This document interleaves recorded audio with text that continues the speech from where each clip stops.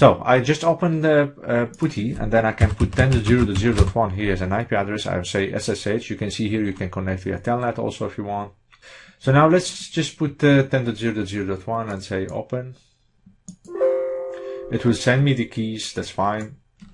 Uh, that's for security. Okay, I'll put admin and uh, here we go. I'm now inside the router. But as I said, that uh, you will uh, be on a command line. So means that you will not have the graphical user interface to configure the router. And here, as the router is a MikroTik, uh, is, a, is, is a Linux uh, based, then really if you are good in Linux uh, command lines, then here you can set your router the way you like via the command line. And it's very efficient. But actually Winbox can do up to 99% of what the command line can do if you use uh, the command line and the MikroTik router.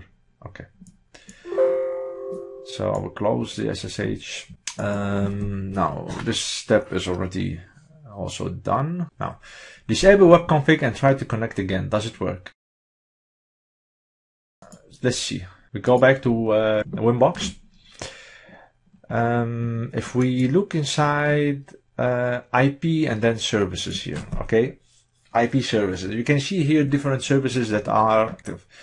One of them is this one, www, that's web config. Winbox, it has a port of uh, 8291. So if you don't want anyone to connect to Winbox unless you, you can apply a filter, a firewall filter, and then you block everyone on this port unless your IP address the IP of your PC. Okay, you have Telnet, SSH, FTP, and so forth.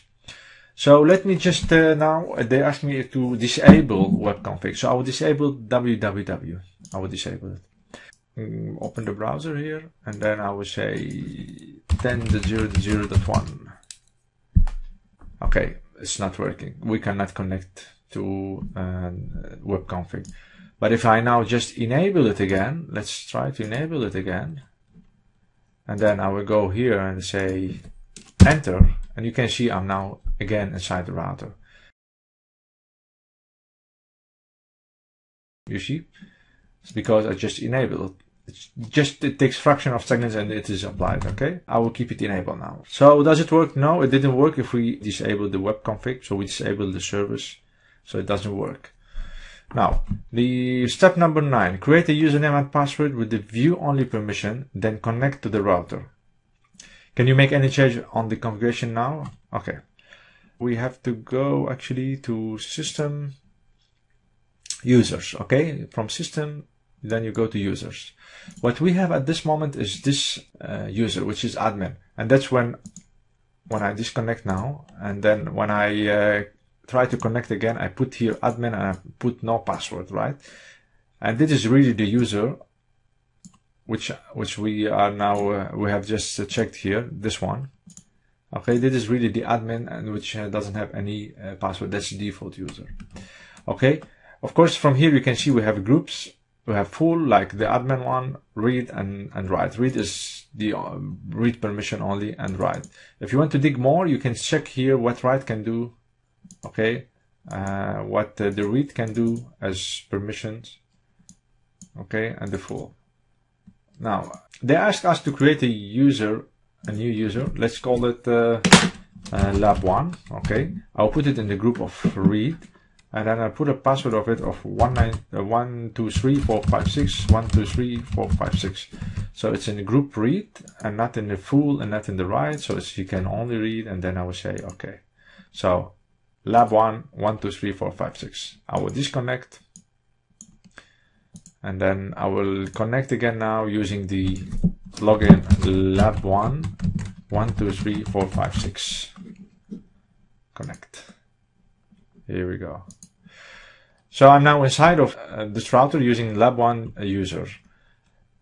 Can we do configuration? Let's check. If I go to IP address and I want to add or delete or yeah, you see it's just locked. I cannot do anything. I can only see the IP, but I cannot like in the uh, few minutes back I showed you how you can uh, add an IP or delete it or disable it or enable it.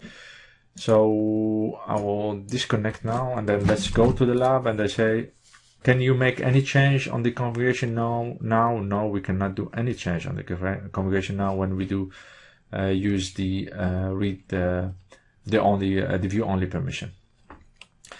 The last two steps we have to do is to set a binary backup and save it on your PC and then to reset the router.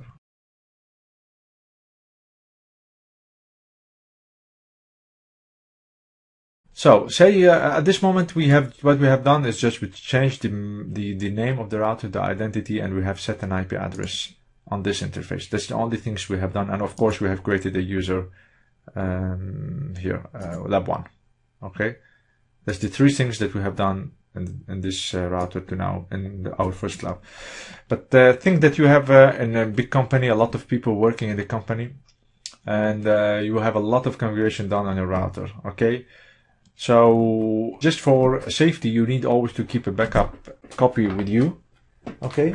And uh, this backup copy is very important that you um, you leave it so in case the router crash or someone do a mistake on the configuration from your colleagues in the IT department, then you can reuse the backup that you have done, and then uh, you will restore the uh, the old configuration. So the question here is saying to set the binary backup and save it on your PC and reset it on your router. Okay, there are two ways to make the backup, a binary and also via text. In this lab, because we are just in the beginning lab, we are doing the binary. Okay, a binary backup, we can get it from, we go to file.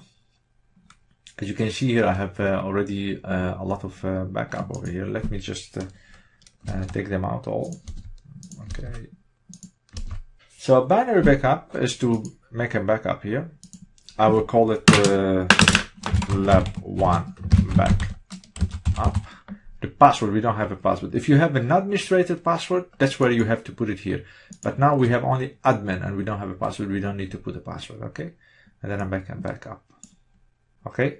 And then this one, you can just take it and put it on your desktop or in an TFTP server or whatever. Just don't leave it in the router because in case you don't have access to the router, that means you don't have access to the backup. Of course, you can keep a copy here, but it's always uh, safe to put a, a, a copy aside. Um, now, I will delete also this one. By the way, if you have 10 routers who, which have the same model, and the same interfaces, and they are all the same, you can do conversion on one router, and then this backup, you can send it to all other routers, and it will be applied. That's the binary. The text backup, that you can uh, change on it and then you can make it in a way that it can be applied to any router from MikroTik, but you have to make some change inside the text. Okay. Now let me reset the router. So we have, we know now how to make the backup. We need to reset it. I will go to system. I will go to reset configuration and I will say keep user now. I don't want no default configuration. I don't want any default configuration because normally MikroTik can give you a possibility to have a default configuration. I don't want that. And no backup because we have already done that and I will reset. And then yes. We have to wait a few uh, seconds till the router is rebooted. So we have lost all the configuration now because we have just reset it and we don't have anything anymore on the router. And the step which is coming now is to restore the old configuration using the saved backup that we have it on our desktop. And that will be our last uh, step to do. Let's check Winbox now again and see if the router came online or not yet. Here we go. You can see the IP address that we have set it is gone. That means there was some, there was something, there is a resetting that we have done here. Also the identity is gone. It's back to MikroTik. We connect to the MAC address again now. I will say connect. What I need to do is to put an IP address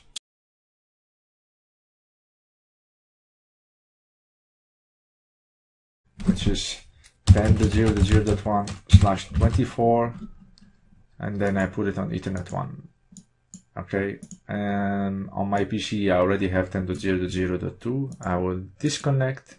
Let me ping first to see if if I have ping to the router. Yes. So my PC can see the router now uh, on layer 3 connect so I open file, let me delete this one, and then I will take take it and put it back. Here we go. You can see it is now showing 9.8 kilobyte as size. So now what I need to do, actually, just to be uh, sure that, that is working uh, correctly, I will change the IP here to say, wow, to one uh, 254. Okay, that's that's good. We make it uh, 254. Okay, because now when we restore the configuration, it should show change to dot one. Yeah. So now it's 254. Let me ping again from my router, from my PC to the router 10.0.0.254. They are on the same range, then that, that should be not be a problem. I go to the file and then I will click on lab one backup and then I will say restore. There is no password. Restore. Do you want to restore configuration reboot? Yes. Okay. And now the router should uh, restore the configuration. We just wait a little bit. And then I think that that step should be also done um, correctly. And then in this case, we would have uh, finished our first lab in this course. Let's go now to MikroTik again and check. Yeah, here we go. It takes some time. So we can see now 10.0.0.1. So the IP has been changed from 254 to 10.0.0.1.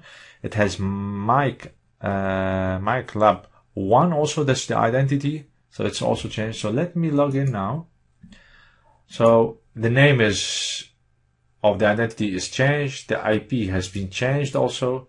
And let's check also the user because we made the user, if you remember, uh, users. Yeah, it is here.